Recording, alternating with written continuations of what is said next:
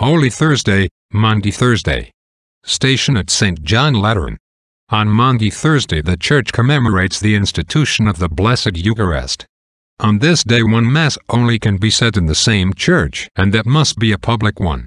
White vestment are worn by the priest, the altar is decked with flowers, and even the purple veil, which covers the cross during Passion Tide, is replaced by one of white. The celebrant consecrates two hosts, one for the priest who officiates on Good Friday, when there is no consecration. This host is carried in procession to a place known as the repository or sepulchre, where it remains until the following day.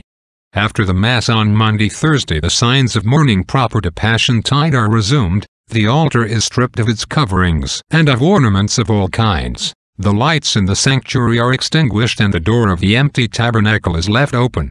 In Rome the Pope washes the feet of thirteen poor persons, all of them priests.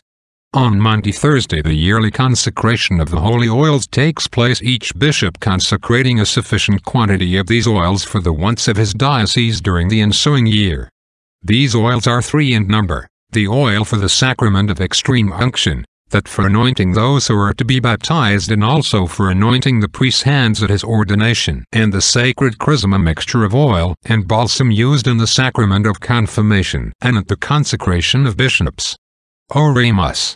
O God, from whom Judas received the punishment of his crime and the thief the reward of his confession grant us the effect of thy clemency, that as Jesus Christ our Lord in his passion dealt according to their deserts with the one and the other, so putting away from us the error of the past he may bestow upon us the grace of his resurrection. Qui tecum vivit et regnat, in unitate, Spiritus Sancte, Deus. Amen.